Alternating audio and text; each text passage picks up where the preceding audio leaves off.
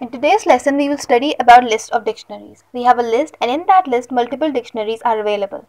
We have studied in previous lessons that if we have nested dictionaries, then how we have to treat them. There is no specific or long method for this. It is rather common sense how to treat list of dictionaries. I have written a code here in which I have list of dictionaries. This is my first dictionary which is finishing here. This is my second dictionary. Then in curly brackets, this is my third dictionary. The square brackets represent that it is a list.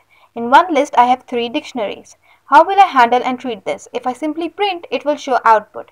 The output is the original list ID 1, data happy, ID 2, data birthday, ID 3, data rash. This is my original list. This is a list of dictionaries.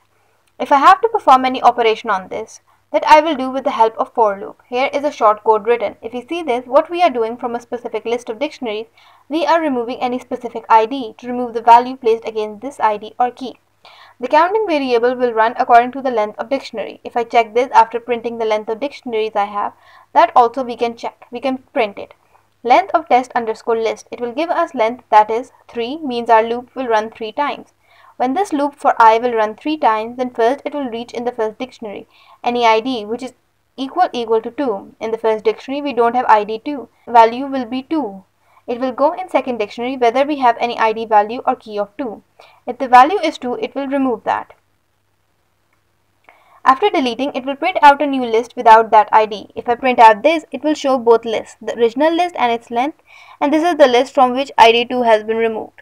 These are operations if we have to perform on multiple dictionaries in a single list.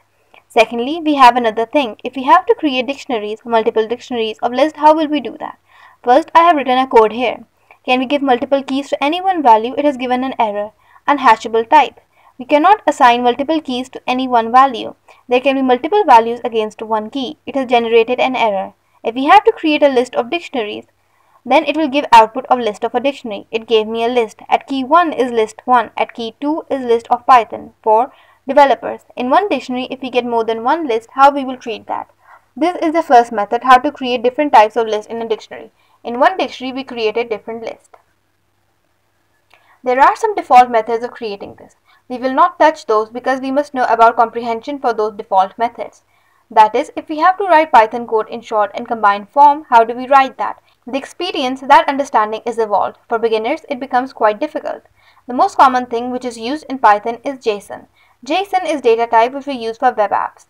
In JSON, we get data in JSON form. If we have to treat this, then we have a library in Python with the name of JSON. First, we have to import this. In JSON, we have data in tuple form. It has key with value, key and its value. If we run this to check, it will give us JSON form of list. This complete list which we studied earlier, in sets we have hash table. In every hash table against every index, there are multiple values. Same is the case here that against one index we have multiple values. It is important to understand this method because it is mostly used in Python for research purpose if our data comes in JSON form.